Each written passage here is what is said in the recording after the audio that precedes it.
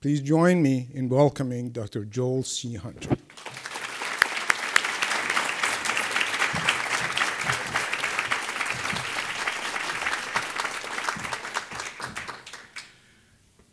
That was such a sparkling introduction that uh, I fear opening my mouth and ruining it, uh, ruining it all. Um, first of all, let me let me say how honored I am to be here, and uh, I'm on a very steep learning curve when it comes to uh, Iran. Um, we have people in my congregation from Iran.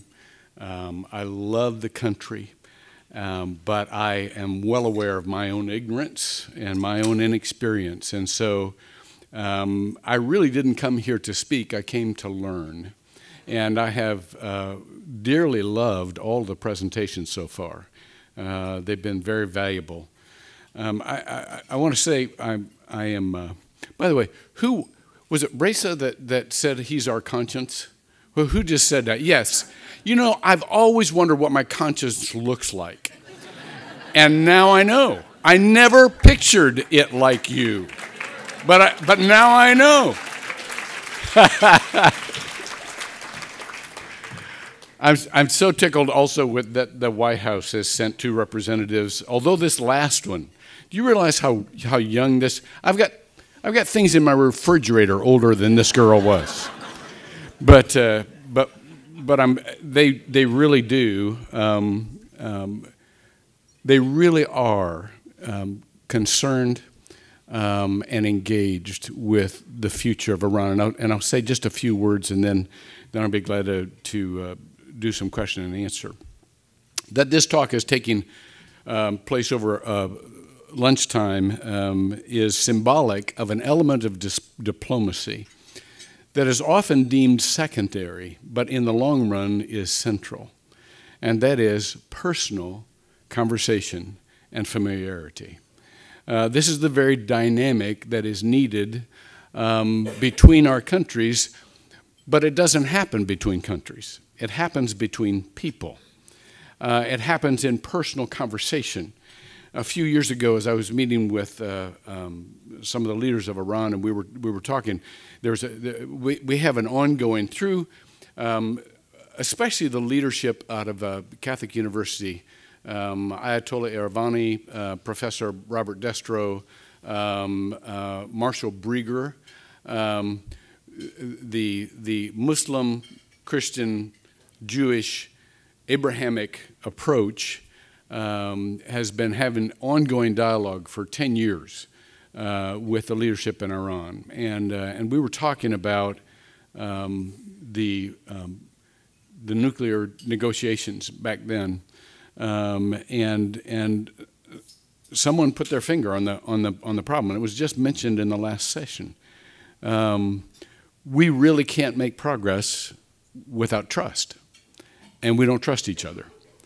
Um, and the only way that's going to be changed is through familiarity and relationship. That's the only way that happens.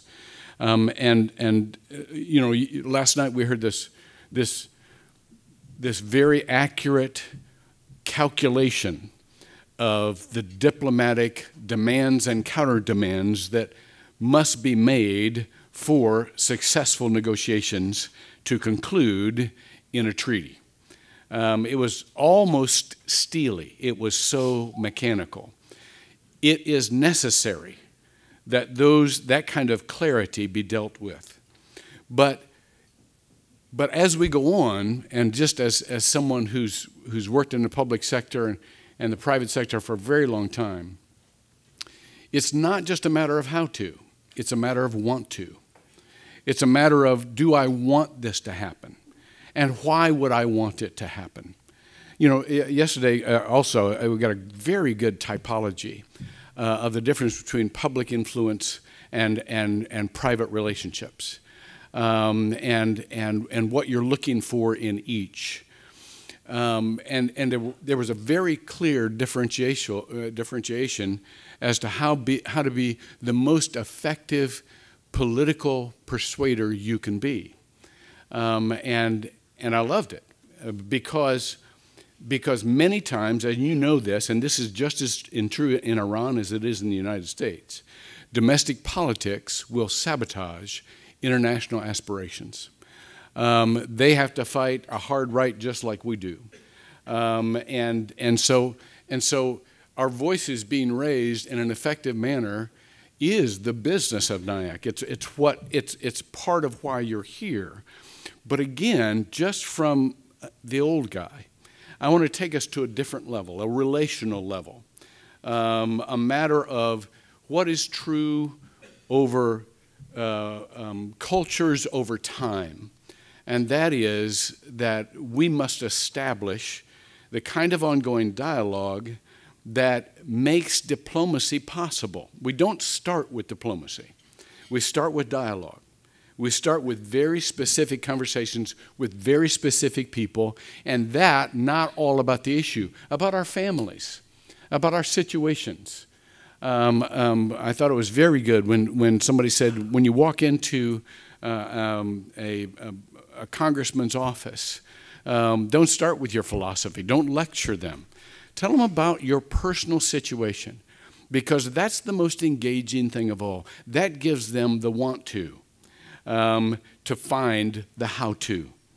Now, I'm an eternal optimist, and so I'm, I'm going to just I'm just going to note a few things that are kind of in our favor for significant progress um, in the near-term future.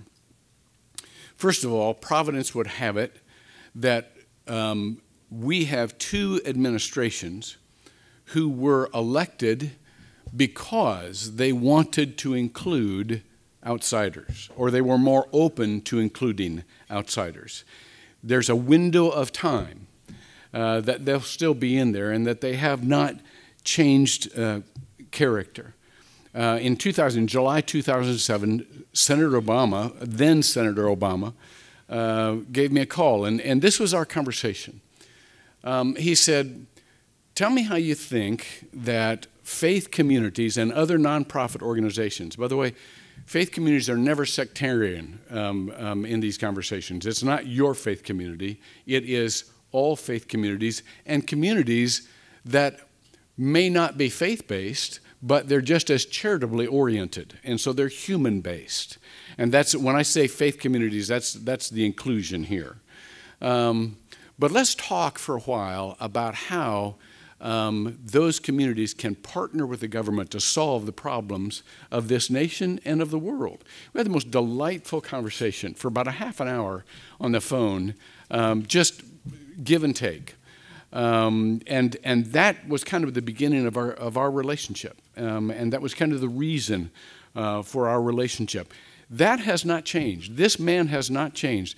Last week, there was a, um, um, a, a, memorandum to all the heads of, of all U.S. agencies to create regional civil society innovation centers, uh, a number of them uh, starting throughout the world, to specifically engage civic leaders in those communities to partner in solving the problems of those communities. That has not, his, his character, his goals have not changed one iota despite the frustrations uh, of operating within a political, um, politically limited, limited uh, uh, setting. Um, and so I say that to kind of piggyback on the enthusiasm of Stephen when Stephen first got up here. Man, was I pumped. I didn't even know what I was pumped about, but it was like, holy cow, this guy's excited. I think I am too. And I say that to, to just say this is there is no more valuable coalition than this kind of coalition to do exactly what you're trying to do, and that is to tell a personal story of personal truth that government needs in order not to relapse into a mechanical kind of categorical approach um, to problem solving.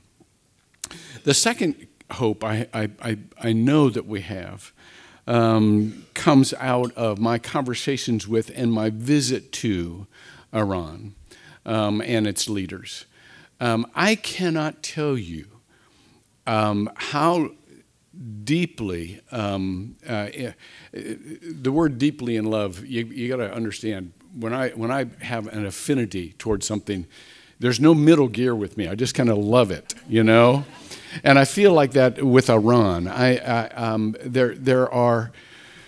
I realize that all of this is tricky. Uh, all of this is ephemeral. Um, um, and when it gets down to the real details, uh, it, it, gets, um, it gets problematic.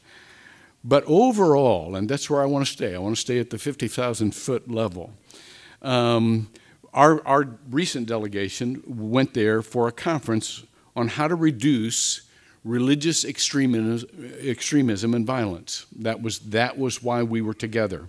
Um, and we were problem solving together. But we were not just problem solving, we were creating the long term networks of relationships that are needed to do just that. Because you will not, never reduce it by argument, you will never reduce it by force. Um, you will only reduce it uh, by the kinds of relationships and the kinds of networks that provide something better. I was so impressed with the Shia uh, approach uh, to Islamic um, um, um, devotion. It was no less devoted, but somewhat more vetted than, um, than many approaches to religion. Uh, I can tell you, as an evangelical, um, we, don't, we don't have a pope, we don't have a, a huge hierarchy. We just kind of go straight to Scripture and then try to do what it says. Um, that's problematic without proper guidance, uh, without proper scholarship. Um, and one of the things I really appreciated was the level of conversation, the level of intellectual engagement, um, because in those conversations were not just religious devotees. They were not just people who took divine revelation and tried to walk it out. They were logicians. I mean, uh, there was a professor of logic. Um, there were, they were the uh, scientists. Uh, they were the philosophers.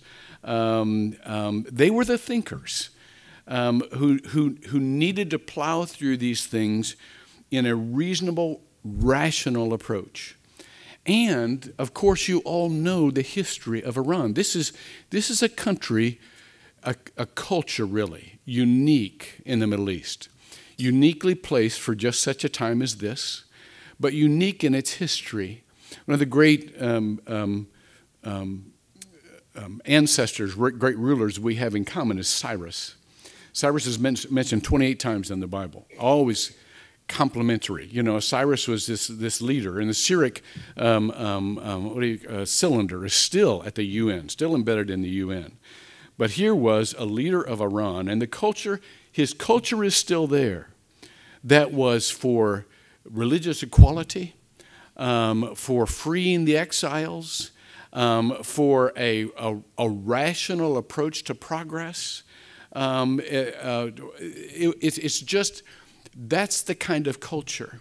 Uh, and that's the kind of capability uh, Iran has that, by the way, everybody recognizes that knows anything about what's needed for the future. Um, there are a lot of people that react emotionally to the narrative of the moment um, uh, to, the, to the talk show hosts and all of that kind of stuff. But those of us who are in a serious, long term solution um, mode knows that Iran is central to not only the region, but the whole world. And not only when it comes to um, peace, but prosperity as well, uh, because of the culture and the capability um, of the history. So, therefore, number three, the emergency of the moment, ISIS or ISIL, however you want to call it, is really doing us a favor. It's a painful favor. It's a horrible favor. But nonetheless, it's a favor.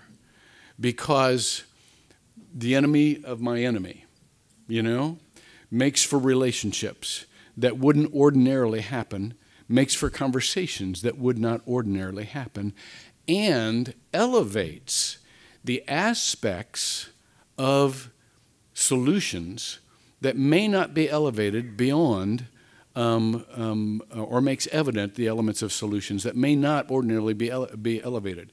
Uh, President Obama has, has said, along with many others, there is no military solution to this problem. There is no military solution to this problem. It has to be one of dialogue, one of development, one of diplomacy. And so, therefore, one of the first visits I had to the Oval Office, I, I, I don't want to run over my time here, um, was um, just after the election. Um, um T.D. Jakes and I were in the Oval Office. Some of you know who T.D. Jakes is. He's an African American, very popular preacher um, in, in the country. And he and I were sitting there talking with the president. And Bishop Jakes, and I know the president wouldn't mind me telling this because he's said this as many times, and others have said it in the Oval Office as well. But Bishop Jakes said, you know, what's the main um, sobering um, truth that you've learned uh, in your first days of office? And, uh, and, and President Obama didn't hesitate. And I can't quote him exactly. You're not supposed to quote, try to do that anyhow.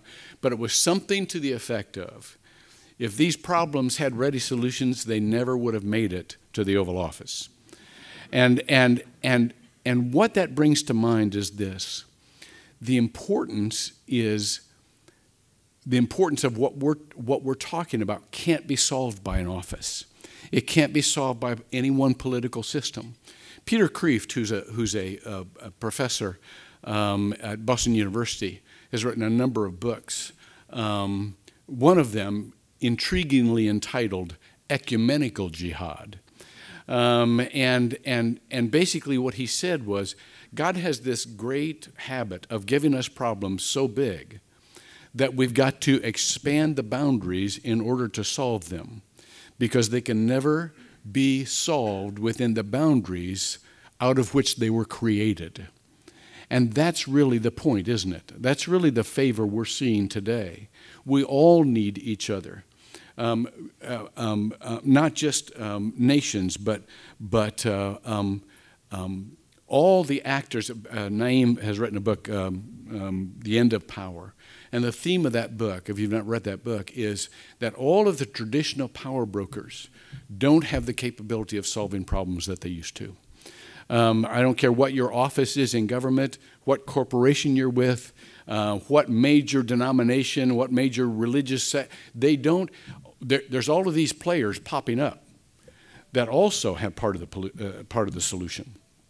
And so, and so, to reiterate, one of the third great um, um, attribute or, or, the, the third great blessing, if you would let me relapse into my religious language, um, is, is the general awareness that there is no one group that can solve the problems of the world. Uh, we, the problems are so big, we have to work together. Um, and, and, and whether you're talking about environmental care or peace or, or um, poverty or uh, Ebola or whatever you're talking about, we need each other. And we have, I think, um, two administrations that are becoming more and more aware of that if they can just get over kind of the political barriers uh, that are endemic uh, to their to their situation. And then the last thing, and you would you would expect me to mention this. Religion is going to be a major have a major role um, in the U.S. Iranian um, um, relationship. Uh, we're both religious countries. Um, and, and I know that people keep talking about uh, the secularization of, of, you know, um, uh, of power and so on and so forth. And, and, and all religions need to be mediated um, uh, so that no sect is given the power of government. That really includes Christianity. We tried that once, it really didn't work. Uh, with Constantine, you know, whenever, whenever, uh, whenever one of us is given the power of government, it tends to not include or tends to slowly exclude. You know, when, when Constantine came into government, he said, yeah, oh, yeah, all the pagans will have equal rights. But every, every, Gibbons writes this in The Rise and Fall of the Roman Empire. Uh, every um, instance where there was a decision somehow the Christians came out ahead and somehow the pagans didn't. Um, and so, so religion can be a terrible danger, but it can also be a significant part of the solution. Um, and, and, and, and we need to remember that um, we are going to need to put together faith communities that cooperate, that respect one another. Um, President Obama, since he's been in office, has put a faith based office in every major agencies, agency of government. Um, and they're active.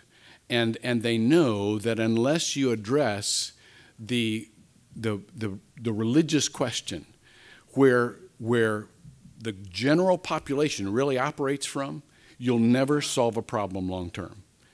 Um, the, the, Iran, of course, is the same way. They're religiously governed. Uh, and so any successful negotiation will go through um, um, the religious um, um, grid. Um, and, and, and, and so that's just something that we have to, we have to deal with. We'll never be France. You know, in the French, uh, uh French Revolution, they basically expunged all religiosity from the public square. That will never be a part of this country, as, as, as far as I can see, of, as this, of this country or Iran. And so if you can't expunge it, you've got to, you've got to deal with it. You've got to, you've got to network it for the benefit of all the countries and all the world um, that, that, is, um, that can benefit.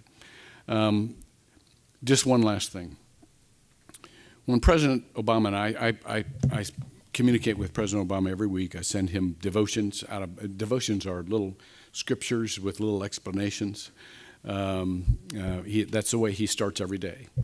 Um, and and then periodically we pray together and and uh, we have personal conversations and so on and so forth.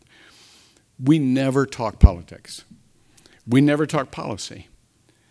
Because what's really important, and I think we've heard it in, in what we've heard here, is not um, organized religiosity.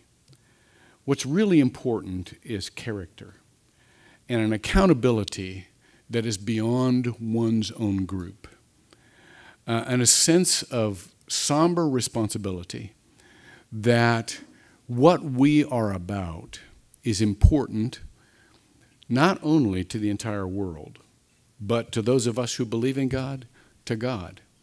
And that energizes us and gives us a, a much wider perspective than we would have uh, simply from our own political group, our own affinity group. So, with that, I thank you for your attention, and I'll be glad to take questions.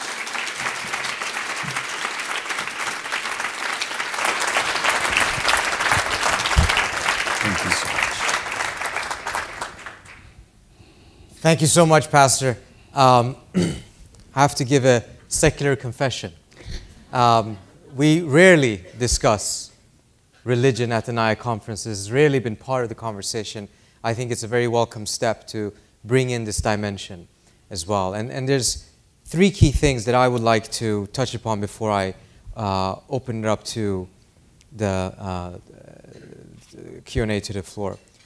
First of all is that I recognize that my ability to be able to connect or reach a dimension of those inside Iran who belong to the very conservative wing of the government is very limited.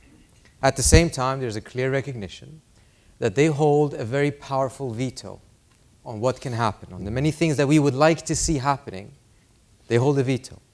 Yet we have limitations to how we can connect, how we can get that personal relationship, get on their wavelength. And whatever our ability is, I'm sure your ability is far, far greater.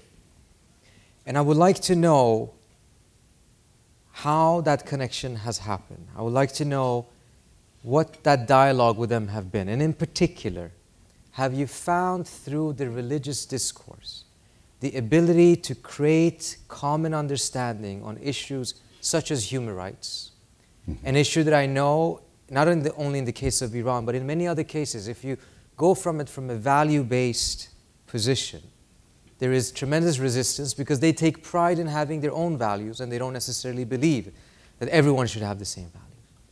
But if you can find an inroad from the religious dialogue, have you seen any signs of it? Is there anything we can point to? Is it a process you think that could take X amount of years?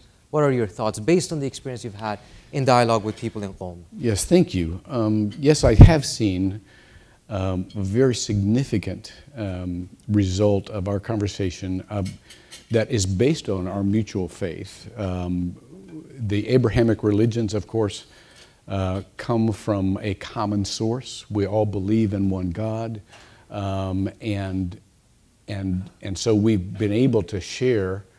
Um, and by the way, all of these dialogues help us to become better in our own faith. They don't water down or blur what we believe, they help us actualize what we believe. Um, but having said that, um, one of the conversations that we had, as, as um, Ali noted, was um, we were, and this is not the first conversation like this, um, but we uh, went and wanted to know how to most effectively address um, the imprisonment of Pastor Abedini, uh, as well as some others who were being imprisoned there. Um, and they, these, these leaders, helped us um, in both the composition of the letter. Um, it was not on political grounds, it was on humanitarian and, and religious uh, compassion grounds uh, that we were asking for his release. They um, helped us guide it to the right one. You know, in America, we go, well, I, we'll, we'll get it to the president, you know. Well, that, that wouldn't have done any good. Rouhani has nothing to do with his release. You know, it's ju- judicial system. Um, and so they help us guide it uh, to, the right one, uh, to the right person um, with the promise of being an advocate because of that relationship that we had. Uh, now, we know a lot of things can happen after those letters. You know, the vetting process of the letters uh, can get very complicated and do. But we felt befriended and we felt helped because of the relationship that we had built. Um, and, and, um, and so, too, um, we want to be advocates for the Iranian, uh, the, the Iranians in America that run into problems. And, and we want to use our relationships at least to get it to the right place, at least to get it with the right recommendation um, that says, um, listen, would you address this respectfully? Um, and I would appreciate any attention you could give, to, give to it. So we felt that from them, um, and, and we, um, we promised the same in return. You mentioned that um, that there's, so as an example of this, you mentioned that it's important to recognize, or there is a recognition increasingly, that these global problems are of such nature that no single country, no single group can resolve them themselves. Did you sense that there was a similar recognition, similar conclusion on the side of those religious elements inside of the Iranian government or Iranian elite that had come to that conclusion? And if so, how are they actualizing? How are they turning that into either policy or any type of action? Because we don't necessarily get that sense standing from far away. Yeah, I, I can't speak as to the policy or what, what comes from it because I, I, I don't have the, the follow up. I can tell you the tone of the meetings is we're in this together. Uh, the tone of the meetings is because of our common faith values, uh, we need to work together um, in order to honor the God we, we believe in and in order to be compassionate to those who are being left out. Um, in the long run, and, and you all know this, all of us, number one, want to believe that, that we're doing something significant that really matters. And number two, that we are a respected partner. Um, and, and we give that to each other. Um, and, and so I do feel like there is not only going to be ongoing dialogue, as a matter of fact, it's, it's happened already for 10 years, um, but it will have concentric um, effects. Um, and, and, and, and in this country, that's what needs to happen because we can change the politics slowly, laboriously, precisely, um, but we have to change the narrative for there to be any permanent change in this country. We have to change the understanding of who Iran is, um, uh, of, of, of how um, much there is to be gained uh, by loving our neighbor as we love ourselves. And that's not just theology, that's reality, it's a joy. So, so when I come back and I go to the National Association of Evangelicals, you know, that's how many we, how many we got? 30 million members back? 30 million members.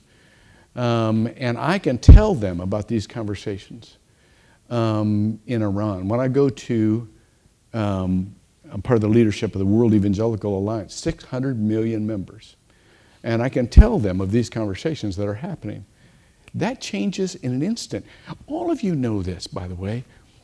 You don't, you don't really have a relationship unless you have updated information. You, many of you have been married for years. Um, unless you checked in with your spouse in the last couple of months, you're running on a roll. You're not running on an actual relationship because your spouse is in a different place than they were a couple of months ago. The same is true with countries. Only updated information can give you accurate enough information that you can actually have an intimate relationship. Um, and so when I come back and I say, guess, guess what conversations I just had? Um, and and um, that has a profound effect. I'm talking too much. So, so on that note, actually, um, mindful of the misunderstandings that exist that tend to be mutual, the absence of contacts that has created a lot of voids. Some of those voids have been filled with fear rather than with information. When you came back in May from Iran, having done a trip to, I believe, Isfahan, Tehran, mm-hmm. Qom, and you went to the Oval Office, and I, I understand um, we have to respect the integrity of the conversation you have with the president. But if you could share something with us, what was the one thing you think the president was most surprised by? Your trip and your dialogue with those elements in Iran? Well, uh, first of all, we met with the team. There were a couple of us that just went to the West Wing and we met with the team um, from the White House that um, is most engaged with the um, with the um, Iranian relationships and negotiations and so on and so forth. we came back, of course, with a glow. I mean, we had just been in these wonderful conversations, um, deep appreciation, realizing we were bordering on naive because you know you're very enthusiastic about a relationship and you want them to be more open, more enthusiastic, and then of course you run into, and this is all institutional grids. You run into this, well, you know, that's great. but, you know, and so all we could do um, um, is, is tell them of our hopes uh, recommend any actions um, that we could to uh, diminish um, the, um, the ineffective sanctions, um, the, um, tell them about what we believe uh, is not only an openness, but a genuine invitation uh, to have better relationships. Um, and, and, and then just kind of leave it at that. Um, but, but we came back with a good report, and, and we think it will have an effect over time. I'm going to open up to the floor for questions. I'm going to try to get as many people that I know haven't spoken yet. Tom. Uh, I was going to ask about the, the difficult sticking point of uh, the U.S.-Israel relationship, the, the Israeli-Palestinian negotiations, um, you know, the that issue for Iran for decades has been, you know, something that they've taken a strong position on, and obviously, a divergent position from the U.S. And you know, I know the the position of the evangelical community is not uniform on this issue, you know, but certainly um, large elements of the community have been, uh, I would argue, an obstacle to a solution there. So I was wondering if you could talk about whether or not that entered in the conversation, or um, if you foresee that happening. Um, it didn't happen um, uh, in much of this conversation. Again, part of, you all realize this, part of the value of meeting is not what happens in the meeting, but what happens in sidebar conversations. Um, that's, that's really why you go, is to have the sidebar conver- conversations that you can't really address as a group. Um, and so that, that question came up, you know, in one or two conversations, sidebar conversations, but it's such a um, um, explosive uh, topic that once you bring it up in a meeting, it just kind of, you know, sucks all of the oxygen out of the air. And so, no, we didn't talk about that um, in our meetings. We were very focused on what our countries could do together, um, um, not on any particular policies our countries had toward others. If I could do a quick follow up on that. You mentioned that the Israeli Palestinian issue uh, or the entire Israel angle was explosive. But was human rights ex- explosive as well? Was it a resistance from their end to talk about that issue in a religious context? That's a very good question, and and no overt religious uh, uh, resistance. I'm sorry. No one says, "Hey, we aren't talking about this." Uh, they they listened, they took notes, um, they asked questions, and and and we gave you know our perspective, and and uh, of course we had attorneys there. And uh, which is always fun because they, they get into the actual cases. Well, where's the you know what's the and and you know preachers like me just kind of go oh okay I, that, I'm out. Uh, but but yes, there was engagement, um, and and it seemed like there was genuine conversation, um, and so w- we felt like at least something was addressed and and uh, taken seriously. Faye in the back. Thank you very much for being here.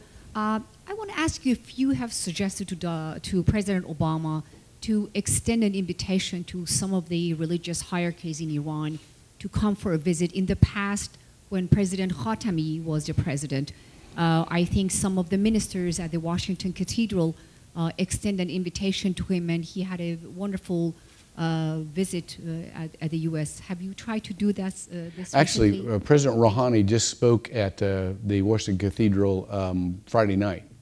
Yeah, and so they've they've extended the same thing, you know, uh, to. It's not. Uh, yeah, two things. First of all, I don't uh, go to the president. Our our our relationship is a pastoral one. And so we talk about his spiritual life, we talk about his family, we talk about, we pray. Um, um, and my role as a pastor is just to help him get connected with God uh, and to feel the support of, of, of, uh, of a spiritual um, advocate. Um, that being said, um, I'm called into meetings um, at his invitation. And when I'm called into meetings, then I can make suggestions. But I can't initiate suggestions simply because that, that wouldn't be appropriate within the boundaries of our relationship. That would, that would kind of spoil the relationship. Mahnaz.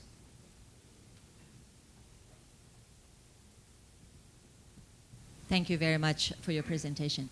Um, I wonder if you have had any conversations um, as um, going back on what Trita is asking, uh, and I want to even take it further step and say um, about torture, and um, in the context of piety, because they see themselves as pious men that are murdering and torturing the best and the brightest of the Iranians. So I'd like to know if you have ever approached that in the context of their piety doing that, and where does that fit in that scope of religious and faith and God and all those kinds of things Yeah. we're talking about. Thank you. Well, the, if I'm getting your question correctly, um, the, the reason, or, or, or at least the, the central event of our visit to Iran was to speak against religious extremism and violence um, and to delegitimize um, the link of piety with violence and torture and, and, and other, um, other matters that, that none of us would claim, uh, none of us would, would see as a part of piety or devotion to our particular religions. Now, did it get to the stage of, well, then what about? Um, no. Uh, again, this, is a, this, is a, this is a marathon, um, and we build incrementally. And the difference between a government negotiation for a treaty uh, and a long term um, um, dialogue that hopefully results in a network of relationships that can provide the environment and will provide the environment to, for government to do what they need to do. Um, the, the second one takes longer um, and is a little bit more careful about inciting um, a, a, a negative reaction or perhaps a relationship ending reaction. So it's, it's, you know, it's kind of a dance. It's kind of a dance. Um, and, and we're very careful about who goes. Um, there are people who I would not want in those conversations uh, because they would be veins standing out in the neck and pointing, and, and then nothing would get, get, get done. Uh, but by the same token, neither do we take over people who do not have the courage to bring up the areas of concern um, and readily admit that all of our religions um, have had um, um fundamentalists that have taken it to places where it was not, um, where it would not be claimed as, you know, Islam. I mean, for Islam to be defined by ISIS would be like Christianity being defined by the KKK. You know, it just isn't, it's not something you do.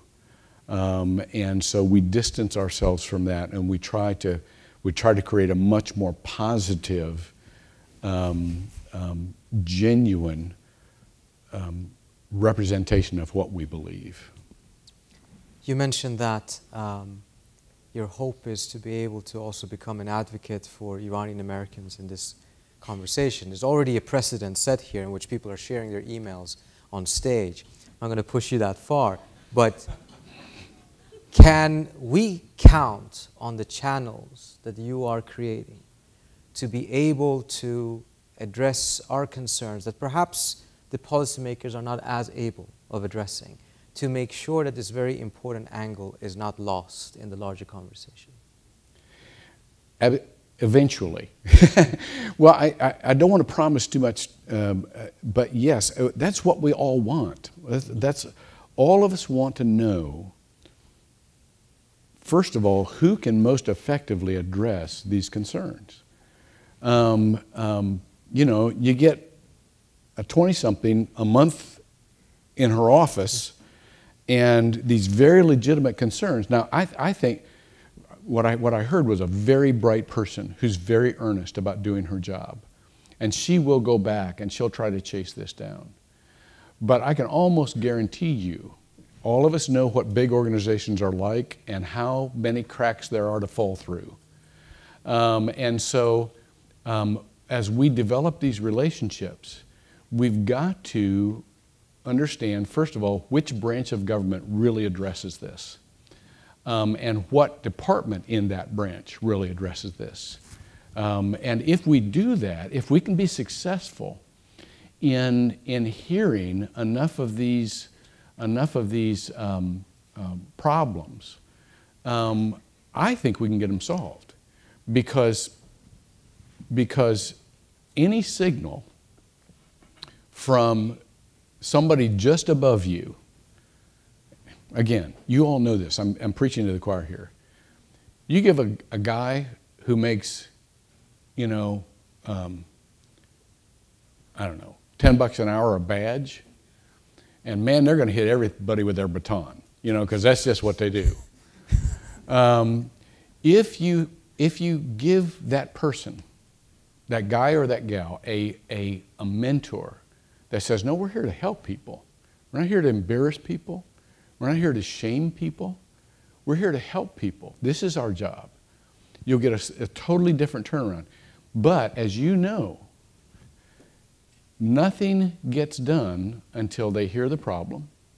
Nothing gets done until that problem gets to the right person. So, in as, much as, as, as we can get that to the right person, and I say we, I'm a pastor for crying out loud. I, I am not even sure why I'm here, but, but I just I got a good friend, and, and he happens to be president of the United States. So, so that's why I'm here. So I'm not a, I'm not a huge problem solver in government. Okay, don't be emailing me anything. It will go right into my prayer bin. I'll be praying. I can pray for you, but I can't fix anything. But we do have, I mean, there are a number of us, and more and more of us that know each other and that are in a network who are bound and determined um, that, that our problems could get fixed in this system. Uh, and I think we have the momentum. I think that's, uh, yeah. Ali.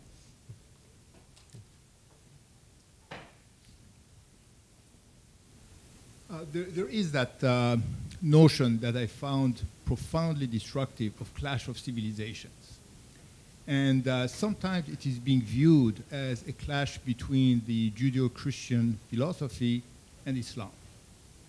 And uh, from everything that you were saying earlier, obviously you do not think along those lines. Yeah.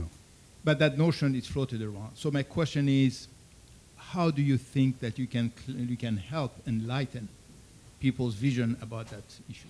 That's a very good question, Ali. It's, it's, as, for those of you who don't know, Samuel Huntington wrote a, a very famous book, uh, The Clash of Civilizations, and, and in that he said there are fault, um, Line. fault lines, divisions uh, between civilizations, religions, and, and so on and so forth, um, and that is our future uh, to, to deal with those.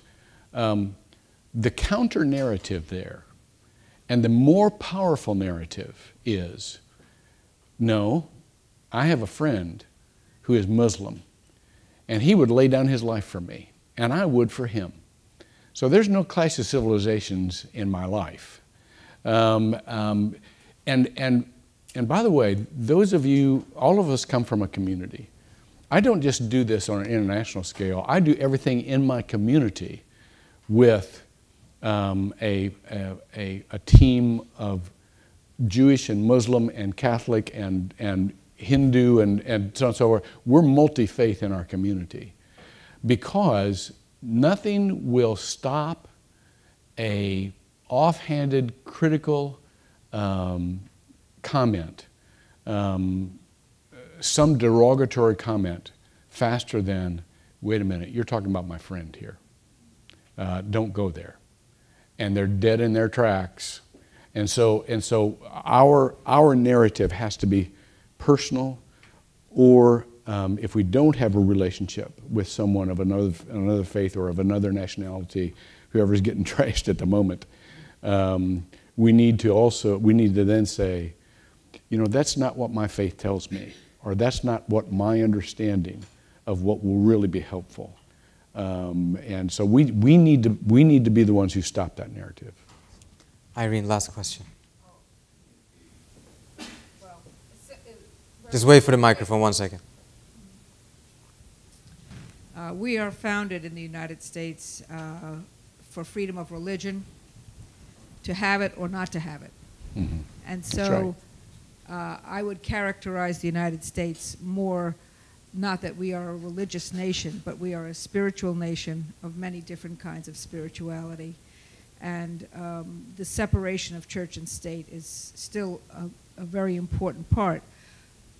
What you have exp- explained to us and what you are doing for our country with your colleagues in, in your travels from the faith community is critical and so important and greatly appreciated. But I, I needed to say what I had. Absolutely. I'm Absolutely. in. Yeah. I guess we have one more time for one more question over there. Yes. The red shirt really helps, doesn't it? Ma- makes her makes her stand up. First of all, thank you for coming. Um, I'm a student, so it's really awesome to be here among all of these um, fellow Iranian Americans. My question is more um, asking you to advise us, because as Iranian Americans, many of us identify as secular. I think that's pretty obvious. um, and we are inherently mistrustful of this Islamic regime. How do we overcome that? Can you help us? Can you give us some advice? Because it's going to, and I'm sure it does, have a large role in the fact that Iranian Americans are not politically active or as in, are not as politically active as we should be. Yes. Now, when you say regime, the present regime, are you talking about uh, the present administration in the United States? The, no, no, no, The no, system. no. Okay. The system. Okay. the um, Okay, I got you. Uh, okay, I, regime is re, you know, it's a it's a well, it, it is a code word uh, that is used by some um, very conservative people in the United States to refer to uh, President Obama and his administration. It is. That's not what she was referring It to. is. I, no, you know, but this is this is who I hang around. So, you know, that was the, that was the trigger that got pulled. Um, oh, that's a bad analogy. Um, bad figure of speech. Uh, but um, I, I, I don't. I think that if if if you are a secular person, it's it's it means that you are a person who is open to what is needed to work, a comprehensive solution. What I was saying here is that just as things are, religion has to be a part of that comprehensive solution. Uh, because that's how much of our nation um, is, is, is wired or, or, or is oriented. That is how much of Iran is oriented. And so it doesn't mean you have to believe any particular thing. It just means that um, all elements that can be helpful and can be developed should really be engaged to do just that. Um, we are not in a place where we can discount anybody and say, you don't matter, uh, or you're not part of the solution, or you're a little bit more dangerous than I'm willing to deal with. Um, we, and I've heard it several times uh, from the front um, as, as we've been here. Um, um, even with you know guys like Kirk, you still give it a shot. You know, um, you, you, you, you know maybe the answer is going to be no, but come on, you know, maybe it'll be maybe it, maybe you catch him on a good day. Um, the same thing. The same Miracles thing is have true. happened. Yeah, I know miracles. I'm I believe in miracles. So uh, so so the point is that I'm not sure you have to change your belief system. I think that as a student, especially, it's really important that you understand that probably everybody has a piece of the truth. Um, and the more you can see it in everybody and dig it out of everybody, the more of truth you're going to have. Okay? Thank you so much, Pastor. Thank you so much for coming, sharing with us. We're very hopeful about what, at the end of the day, seems to be an embryonic channel that has been created. We hope that it goes very far because, at the end of the day, I think everyone here recognizes they are plenty of elements in both countries, and no, none of them can be wished away. Mm-hmm. There has to be a way to be able to connect, have that dialogue, and coexist. And if you can help, with the dialogue that you're having to connect with folks that we share the same culture with, but perhaps have not been able to share the same language with, mm-hmm. then that is much, much welcome. Thank you so much. Thank you. Thanks. Thank you. Thank you.